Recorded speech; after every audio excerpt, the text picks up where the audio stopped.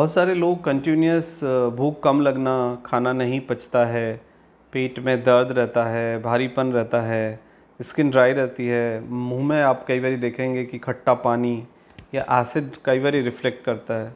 तो ये सारी जो समस्याएँ हैं, इसके पीछे एक कॉमन रीज़न होता है कि आपका डाइजेशन प्रॉपर नहीं है।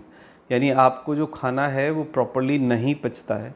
और जब आपको प्रॉपरली खाना नहीं पचेगा तो आपको भूख भी नहीं लगेगी रेगुलरली और फिर आपको पूरी तरह से पेट भी साफ़ नहीं होगा और लगातार ये समस्या बनी रहेगी। तो बहुत सारे लोगों का कॉमन ये एक क्वेरीज़ होती है। लोग कॉमनली पूछते रहते हैं कि कोई एंजाइम्स या फिर कोई भूख को प्रमोट करने वाला सीरप जिससे कि हमारा पेट ठीक रहे, पेट की गर्मी ठीक हो जाए। तो आज हम बात करेंगे एरिस्टोजाइम सीरप की कि एरिस्टोजाइम सीरप कौन से लोग ले सकते हैं कितना ले सकते हैं, कितने दिन तक ले सकते हैं और उसके क्या साइड इफ़ेक्ट हैं और क्या इफ़ेक्ट हैं। सबसे पहली बात है कि एरिस्टोजाइम जो सीरप है, वो एंजाइम्स कंटेन करता है। यानी एरिस्टोजाइम सीरप के अंदर एंजाइम्स हैं और जो एंजाइम्स तीनों प्रोटीन फैट और कार्बोहाइड्रेट को डाइजेशन में इमल्सीफाई करने में, यानी उसको पचाने में आपको मदद करते हैं। तो एरिस्टोजाइम सिरप उन लोगों के लिए एक राइट चॉइस है कि जिनको डाइजेशन का थोड़ा सा दिक्कत है, भूख कम लगती है और पेट अच्छे से साफ़ नहीं होता है तो ये आपके डाइजेशन को डायरेक्टली प्रमोट करेगा।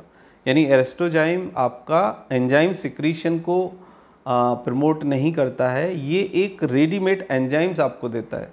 यानी आपके बॉडी के अंदर यदि एंजाइम्स का सिक्रीशन कम है या ड्यू टू अदर रीज़न आपको डाइजेशन की कोई समस्या है तो एरिस्टोजाइम आपके डाइजेशन को प्रमोट करने में आपको मदद करेगा। जिससे कि आपको अच्छी भूख लगेगी, अच्छे से पेट साफ़ होगा।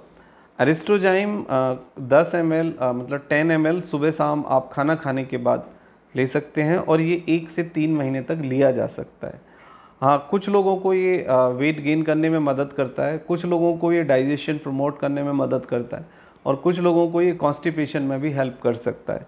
कुछ लोगों को गर्मी होती है पेट के अंदर, स्किन ड्राई रहती है, हेयर फॉल होता है ड्राई लिप्स और ड्राई आप फिंगर देखेंगे, नखून बहुत ड्राई रहते हैं। तो उन लोगों को ये काफ़ी मदद करता है। लेकिन मैं आई पर्सनली एडवाइज़ के एरिस्ट्रोजाइम सिरप स्टार्ट करने से पहले आप अपने को डीवॉर्म कर लीजिए। एक टैबलेट एल्बेंडाजोल जेंटिल या बैंडी प्लस वो आप खा लीजिए रात को मीठे दूध से। और उसके बाद आप टू स्पूंस अरिस्टोजाइम एक से तीन महीने तक ले सकते हैं ten M L with water after meal तो इससे आपको काफ़ी हद तक डाइजेशन संबंधित जो प्रॉब्लम्स हैं उसमें फ़ायदा होगा। आपको वेट गेन आप कर सकते हैं, आपकी भूख इससे खुल जाएगी, आपको प्रॉपरली भूख लगेगी। लेकिन मेक श्योर करिए कि आप डिपेंडेंट ना हो इस सिरप के ऊपर। आप अपनी लाइफ स्टाइल को मॉडिफाई करिए, आप अपने फ़ूड को ठीक करिए कुछ एक्सरसाइज व्यायाम करिए, पूरी नींद लीजिए और खाने को प्रॉपरली टाइम से लीजिए, चमा, चबा के खाने को खाइए। तो ये बेसिक जो चीज़ें हैं, उसके लिए कोई शॉर्टकट नहीं है।